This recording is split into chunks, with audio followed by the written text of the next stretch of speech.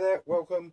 For those people or, who already know about what I'm going to show you, please skip forward and go and check the moulds out that I'm casting. Uh, they're gone? Right, okay. This is for the people that, uh, if you're going to dabble into casting, just a few of the items that you actually need to actually get yourself started. The first thing I'll start with, the most important, is casting powder. Just put that one there. Uh, the first one is a Herculite 2. Now this is a good all-round casting powder. It will do all of your moulds. But saying that, I do use two casting powders and this is the Cristalite R. This is a porcelain finish plaster which is extremely hard. I use this for the more delicate pieces like tiles, uh, slates, little things like that. So they're both good quality uh, casting powders. I will put a link in the description uh, where you can actually get these from. Uh, you can actually get these off eBay. But other countries, I don't know what, which country you're, you're in, you might have to find an equivalent to it. Right, that is the main, main thing. That's the most important. I'll stress that now is to get a good quality casting plaster to cast in rubber silicone moulds. Plaster of Paris is no good. Don't even think about it. Or decoration filler or anything like that. You will not get good results. Right, moving along. What we have is a set of digital scales. The set of digital scales is for measuring weight-wise your casting powder. Most, well, all casting powders will come to either a, a 2 to 1 ratio or a 3 to 1 ratio, which is 1 milliliter of water to 2 grams of casting powder. So you need a set of scales to measure that out accurately. Uh, the next thing, well, well, I'll move these things in because I think a lot of them are out of shot. A spoon, well, the spoon's for dishing up your powder. Nothing too technical about that. There isn't nothing too technical you need.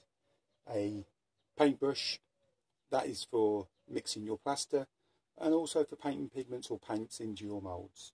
That's basic thing. A basic scraper, any shape or size. This is for cleaning off the tops of your moulds. We move along, mixing containers. These can be yogurt pots, they can be anything you like as long as you can mix them. We also have a disposable syringe. This is a 10ml syringe. Uh, you'll find that most of the moulds you won't go over 12ml. Actually, this is it goes up to 12ml. This one does. They're very cheap to get hold of, and you will get an accurate mix by using something like this. Next to it we have uh, a piece of uh, plastic. This is to actually put your moulds on. If I bring a mould down. The moulds are quite flexible and soft. This is just so when you cast, you can cast into your mould and you can actually move it away, put it somewhere safe to dry because if you pick it up, as you can see, you're going to end up breaking your parts, damaging them and things like that. Put that mould back in its place. Now, another thing that you need is a plastic container and some rinse aid. Now the rinse aid aid is for soaking your moulds in before you cast in them. You will do a small amount into their water, put your mould in into it and soak it then partially, partially dry it off before you start casting. The rinse aid helps release, well, it breaks the water tension in the plaster and helps release the air bubbles from the face of the mould so you do get decent parts. Now, uh, colours. There, I already done, there's two videos out. One on pigments, which is, I use the Vallejo pigments and there's also one out on paints. I use the Vallejo paints. It's just that that's what I had to hand. There's two videos out. The choice is yours on what colours and how you do it. If you're going to do a lot of casting, I would recommend pigments. If it's going to be little bits and pieces and you don't want to buy pigments and you've got paints in your uh, box, you can use paints quite easily and just as good as pigments. So that is your colouring. We move on now. Uh, I have a small vibrating table which I made myself. There is a video out how to actually make this particular vibrating table. Shows you, tells you all the parts that you need, how to do it, everything. If you don't want to build a vibrating table, you can actually get away with using a piece of plastic and getting a piece of foam rubber or sponge, placing it on, tapping it with your finger. That will do just as well. Uh, failing that, you can actually use a compressor. Start your compressor up on your board and just gently lay it on top of the compressor. The vibrations will do exactly the same job as well. So there's three options there if you require to for a vibrating table. Moving on, the final thing, and I will stress this because this has caused quite a few marital breakups, is, I'll just move the camera slightly, is a container to wash up in. Uh, you need a container to wash up in for the simple reason is when you mix the plaster with the water, the water is only a medium to hold the plaster. And the plaster will sink and harden underwater. So if you wash your cups up, your moulds, that will go down the drain and it will block your sink up straight away. So if you get yourself a largest container that you can actually put stuff, wash stuff up and get it cleaned up. So that's it. So next up is how to cast the moulds.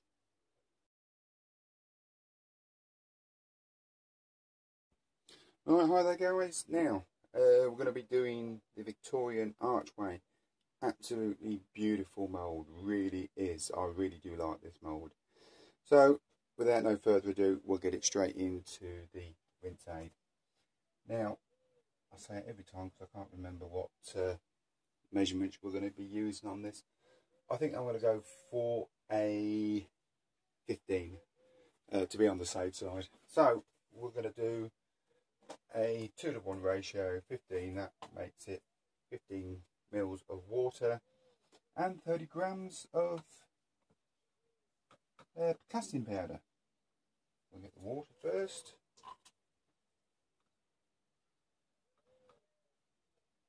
That's the water.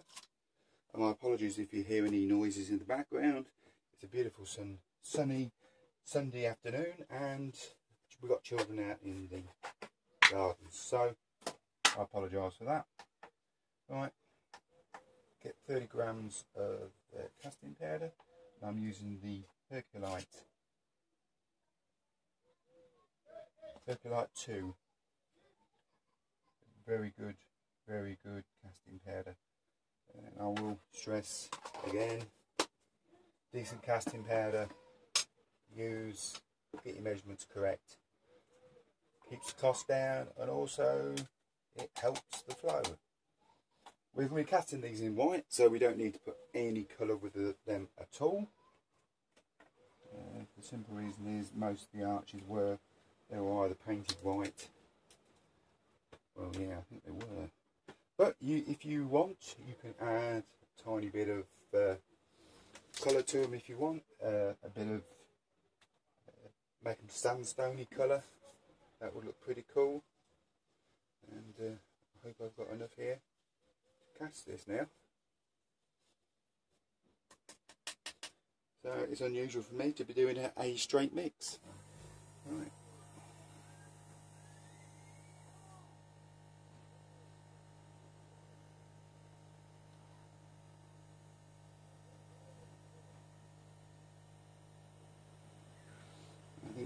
15. I think Simon's well over the top. We cut that down to about 10, I think. There we can. That gives us plenty of scrape off. Right, excuse me while I do my washing up. You have to be domesticated.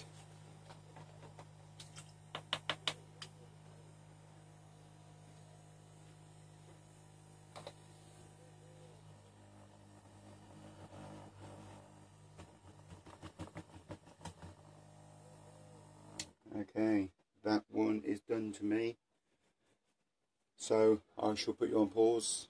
We'll come back in a few minutes and we'll skim the top off. Okay, it's been about five, six minutes and we're just going to use the scraper and take the top off. And it's just, just starting to go just how I like it actually bit of water. And that finishes off. Really nice. Okay that's it. Now we'll leave them to dry fully and we'll be back. We'll turn them out and we'll have a closer look at the parts. Okay time to take uh, these out the mould. Ooh.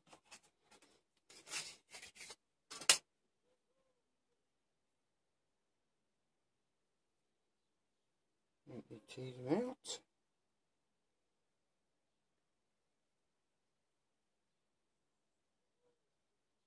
There we go. I will do some uh, close-up pictures as uh, people have been asking for that because you don't really get to see the parts. I've not actually built anything as yet using these archways but uh, I shall definitely do something. Uh, I don't know what quite, but uh, we will. Last one out. They all come out beautiful. And the little plinths. I love them little plinths. They really are know, sweet. we got the large plinth. Doing the double and then another single. And then we've got the keystones two of them. Another one. And also we get two different little finials to finish the actual top off. Like so and lastly but not least uh, the two little finishing pieces that go on the back. And that one's got a little bit of air trapped into it. Very naughty of you Simon. But there you go. That's the uh, Victorian arches. And like I say I shall tag a few pictures on so you can see what they look like close up okay parts from this particular mould. You've got the two arch sections without a cut-off. And then here we've got two arch sections with a cut-off. This is so they can be actually joined together to make a double arch. We also get uh, plinths two single ones and one double one. These are we get two keystones and also we get four finials one with a raised surface and one with an insert and these are finial caps that actually go on top there to finish it off.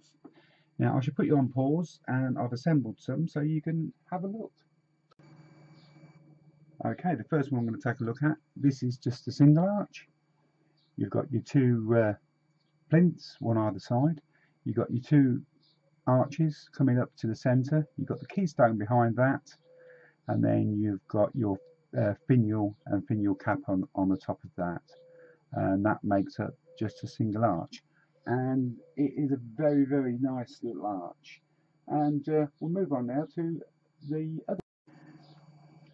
Okay we now move on to the double arch. Now uh, the center two arch parts are the ones with the cut-offs so they actually join nicely in the middle there. That is actually sat on the large uh, plinth. Then the two shorter, well, the two ordinary arches go either side. If you wanted to make it even more arches, you just use more of the, the cut-offs and just keep doing arch to arch to arch. So you could do a very lot of arches, as many as you like actually. Uh, this side sat on the two smaller plinths, like I said, and the large one in the middle. Uh, keystones sit at the top of the arch. That's to actually form it up and finish it. Uh, we've got the finials on. I've got a raised one that side and a one with the insert with the finial cap in. So that's a look at uh, the Victorian Arch. Thank you very much for joining me and hopefully we'll see you on the next one.